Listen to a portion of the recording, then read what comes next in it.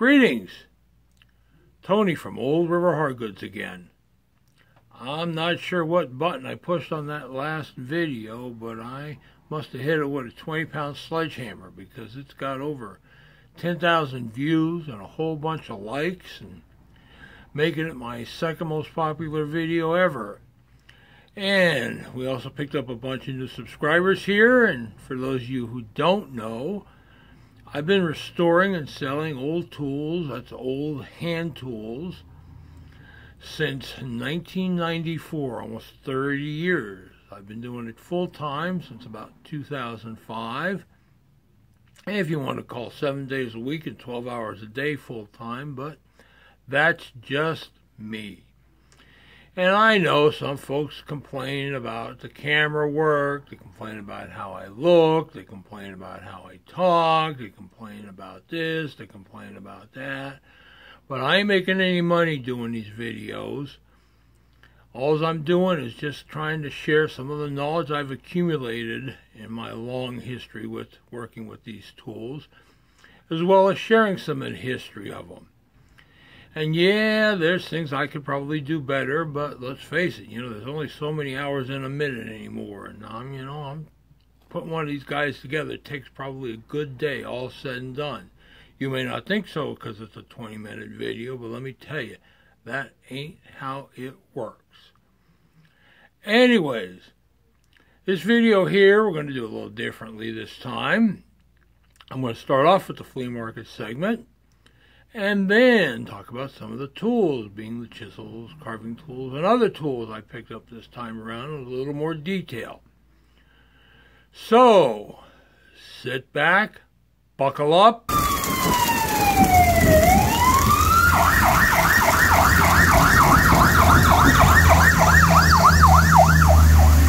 And enjoy. I'll tell you, Saturday morning at the flea market started off looking pretty bleak. I walked around for over 45 minutes, clocked over 2,000 steps, and didn't see a blinking thing.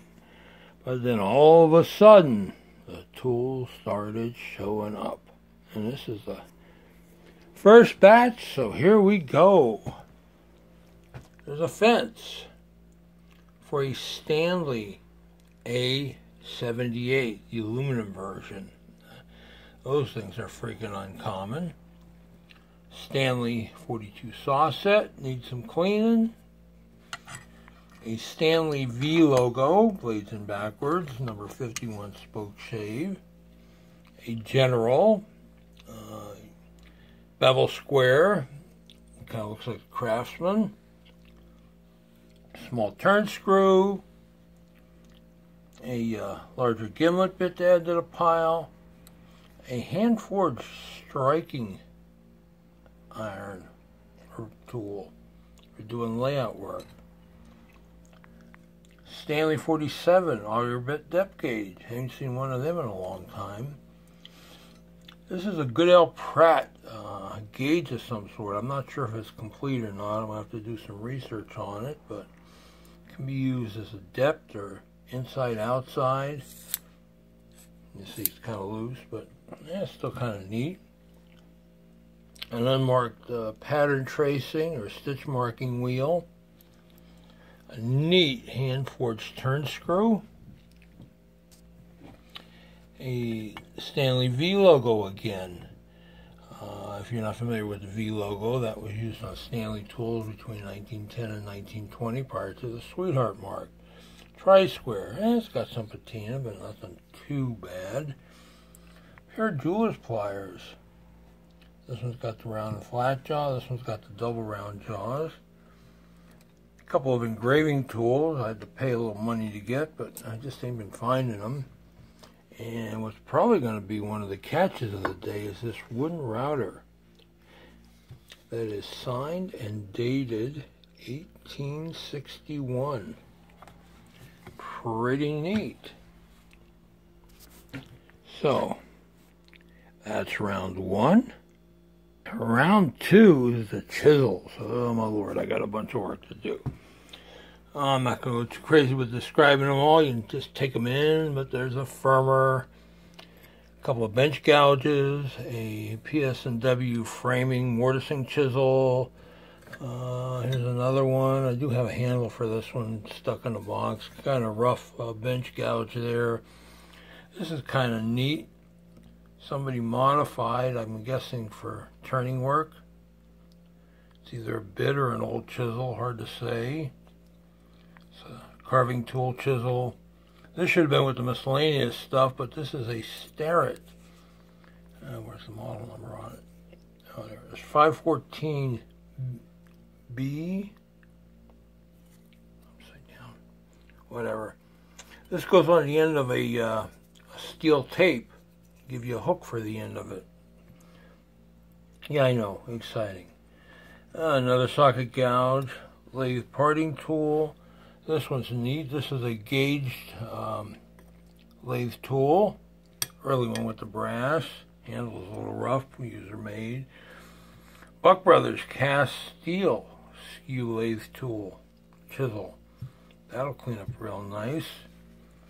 Here we got another carving tool, V gouge. Another lathe tool. This one looks like it's a butcher.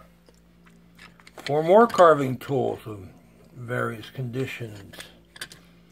Another couple other firmers.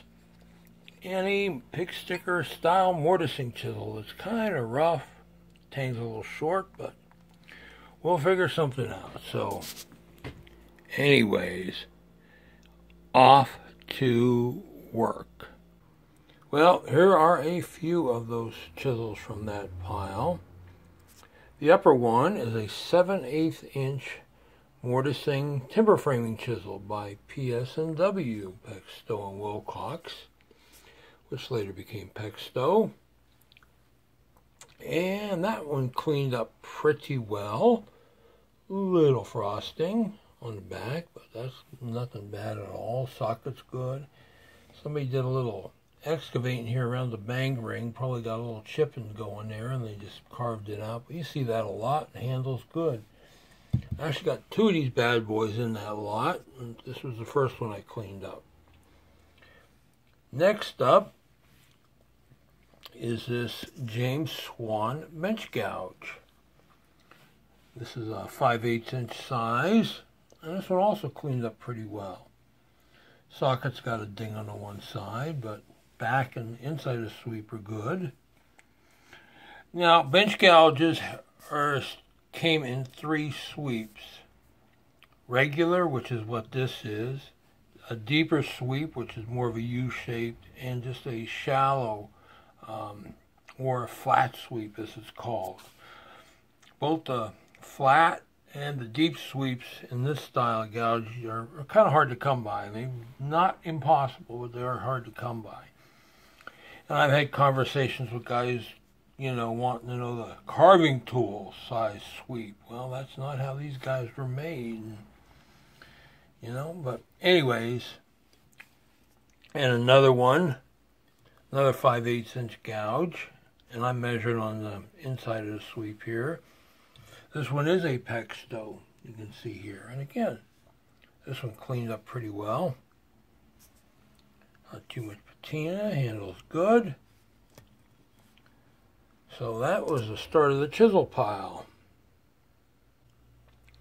Next up, we're going to take a look at some of the carving tools that came out of that lot. This one is an S.J. Addis V carving tool. This one, oh, I forget the number on hand, but this is the 90 degree angle one. A lot of them you see are the 60 degree. This is the 90 degree angle one. I'll have to look up the model number on that. This one is a number 17 bent gouge, also by Mr. S.J. This one is a number 21, which is a bent chisel. That's that one. And the last is a J.B. Addis and Sons, or Son, I forget. Uh, this one is a Bent V. And this one's also, uh, that one. yeah, that one's also the 90 degree. And I forget the, you can kind of see the number there, probably better than I can. So, but anyways, these also clean up pretty well. This one's got one little spot of pit in the middle, but it's way down from the edge, so we don't worry about that. Handles are good for the most part. A couple of them have a user mark on them. Uh, this one's missing a ferrule. This one has some worm tracks and what have you, but hey, you know, good carving tools are not getting any easier to find, at least, at least where I do my shopping. And last of these tools we're going to talk about, the edge tools, are the lathe tools. Up top is a parting or sizing tool. These are very uncommon. I have an average, if I'm lucky, one a year, and it's probably been much less than that. I had a Buck Brothers one last year, but this one isn't signed. And frame's got a little patina to it, but the blade's good. Nice and sharp and shiny. Clamp works.